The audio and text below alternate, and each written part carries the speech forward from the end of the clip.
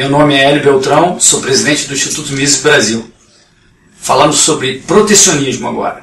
É, protecionismo é uma praga que todo brasileiro sofre com ela. É, nós temos protecionismo, o que, é? São barreiras tarifárias ou não tarifárias sobre produtos ou serviços estrangeiros para entrarem no Brasil.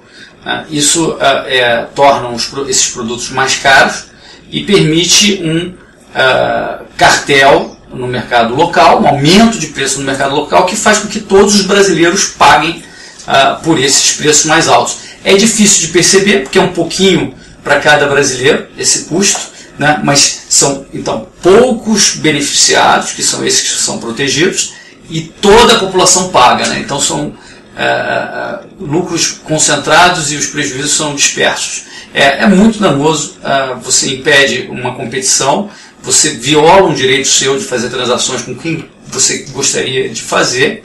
Uh, e uh, uh, efetivamente o que a gente deveria fazer é eliminar é, é, essas proteções tarifárias e não tarifárias. Isso desde a época do Adam Smith já se sabe que, que o livre comércio funciona muito melhor e que essas barreiras só fazem piorar o nível de prosperidade de cada, de cada país. Eu tenho um vídeo uh, que eu falei no Fórum da Liberdade sobre o assunto protecionismo, que eu acho que vale a pena é, é, olhar em detalhe, são 20 minutos de fala, é muito mais é, interessante do que, do que aqui, de falar aqui é, nessa, nessa ocasião.